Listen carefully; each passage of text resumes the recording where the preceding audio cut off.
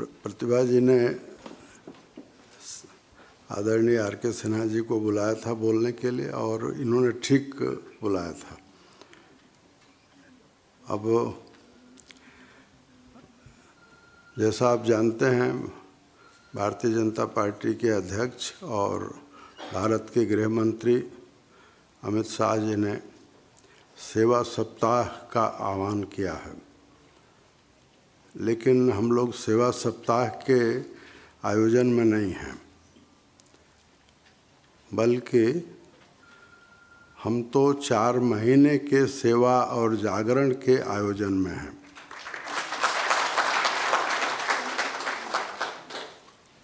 जो जिस कार्यक्रम का या जिस अभियान का यहाँ प्रारंभ हो रहा है वह तो 2 अक्टूबर से चलेगा और 30 जनवरी तक चलेगा। तो इस तरह से लंबा एक जनजागरण अभियान है और दो तीन दिनों की तैयारी से मनीषा ने, साक्षी ने और मुकेश जी ने जो यहाँ प्रस्तुत किया, वह तो एक छोटी सी झलक है। और मात्र दो तीन दिनों की तैयारी है। उन तैयारियों को एक दिन मुझे भी सुनने या देखने का मौका मिला। मुकेश जी को मैं कहूँगा कि जहाँ अपने गाने में आपने पर्यावरण शब्द इस्तेमाल किया है कृपया वहाँ पंच तत्व शामिल कर लीजिए। क्योंकि पर, पर्यावरण छोटी चीज़ है। अंग्रेज़ी शब्द का एक उल्था है, अनुवाद है।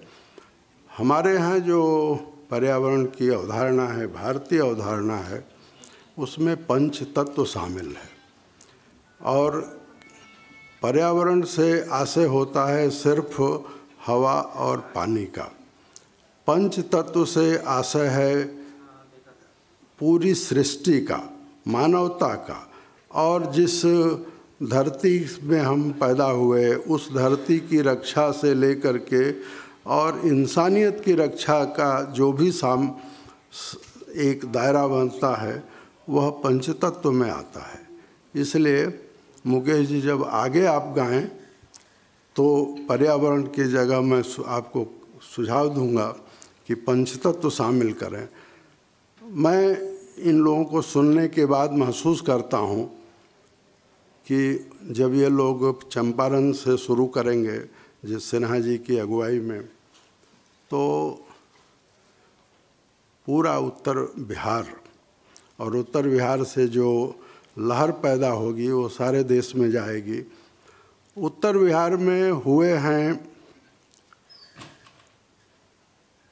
जिनको आज भी लोग बहुत आदर से याद करते हैं। ये क्या नाम था, मैं भूल रहा हूँ अभी। हैं? नहीं। भिखारी ठाकुर। भिखारी ठाकुर ने अपने ज़माने में गीतों के माध्यम से समाज सुधार का एक संग का एक जागरण चलाया।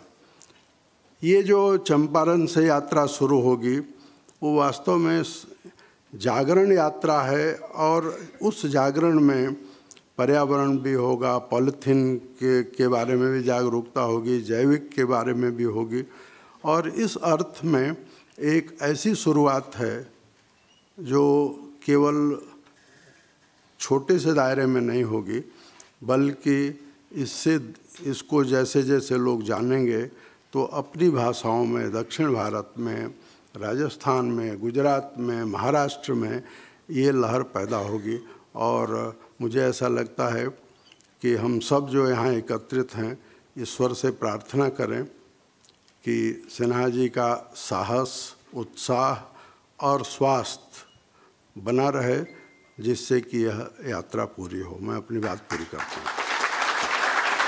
देश और दुनिया से जुड़ी हर छोटी और बड़ी अपडेट्स के लिए सब्सक्राइब करें जिस न्यूज़ और किसी नोटिफिकेशन को पाने के लिए बेल आइकन को दबाना नहीं भूलें।